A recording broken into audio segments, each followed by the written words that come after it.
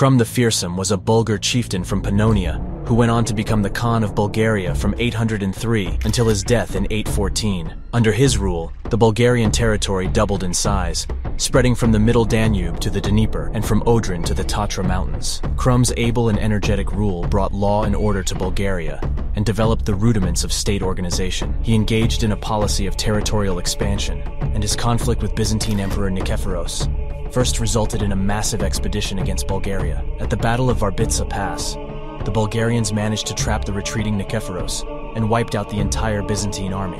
Krum then used the emperor's skull as a drinking cup until he died in 814, after which his empire fell into disarray.